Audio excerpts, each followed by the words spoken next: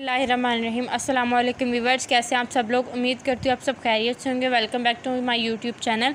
आज हम बनाने जा रहे हैं लच्छेदार पिज़्ज़ा पैटीज़। तो आए हम, हमारी रेसिपी को स्टार्ट करते हैं। सबसे पहले हम डो बनाएँगे। डो के लिए जो चीज़ें हैं, वो मैं आपको बताती हूँ।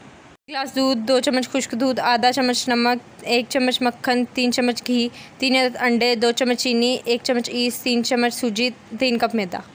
अब इन चीज़ों को बारी बारी एक बाउल में डालकर अच्छे से मिक्स कर लें।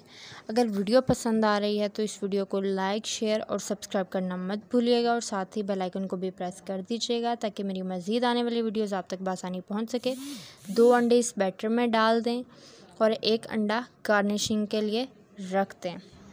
इसको अच्छे से मिक्स कर लें और छना हुआ मैदा इसमें शामिल कर लें और इसको आटे की तरह गूँथ लें। वीडियो अच्छी लग रही हो तो लाइक शेयर और सब्सक्राइब करना नहीं भूलिएगा। बेल आइकन को प्रेस कर दीजिएगा। डो अगर पतली लगे तो इसमें थोड़ा सा मैदा शामिल कर ले और अब इसके ऊपर थोड़ा सा मक्खन लगा दे ताकि हमारी डो सॉफ्ट बन सके और इसको दो घंटे के लिए कवर कर दे। पैटीज़ की फिलिंग के लिए छः से सात जमे लहसन दो हरी मिर्चें एक प्याज को कुंडी में डाल लें। इसमें वन टीस्पून हल्दी one teaspoon chilli flakes one teaspoon सुरख मिर्चें वन टीस्पून नमक, या अपने जायके के मुताबिक। ज़ीरा, वन टीस्पून, खुश्क धनिया, वन टीस्पून, डालकर अच्छे से कूट लें। अब इसमें सोया सॉस, चिली सॉस और विनीगर डालकर इसमें चिकन को मिक्स कर दें और हल्का हल्का सा कूट लें। अब इसको किसी तवे या फ्राई पैन में घी डालकर पका लें।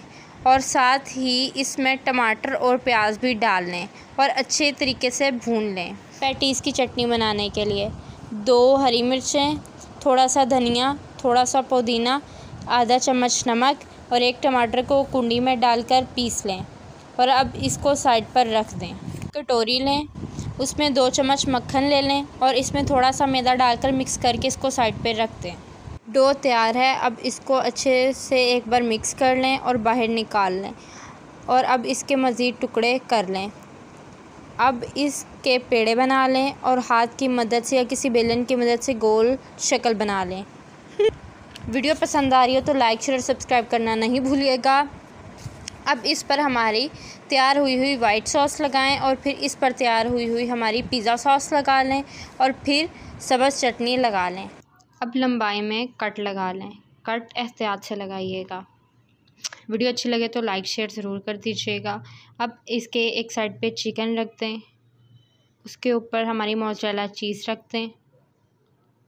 और इसको एहतियात से रोल कर लें। रोल करने के बाद इसको एक गोल शेप दे लें। इसके बाद इसको पिज़्ज़ा ट्रे में रख दें। ऊपर से थोड़ा सा अंडा लगा दें और थोड़े से तिल रख दें। और आधे घंटे के लिए प्री हीट हुई हुई कढ़ाई में रखते हैं। और आधा घंटा हो चुका है, आप देख सकते हैं हैं, हमारी लच्छेदार पिज़्ज़ा पैटीज़ बन के तैयार हो चुकी हैं। हमारी मज़ीद अच्छी अच्छी वीडियोस देखने के लिए वीडियो को लाइक, शेयर और चैनल को सब्सक्राइब कर दीजिएगा। बेल आइकन को भी प्रेस कर दीजिएगा याद से। और अब हम हमारी पैटीज़ को सर्व करते हैं।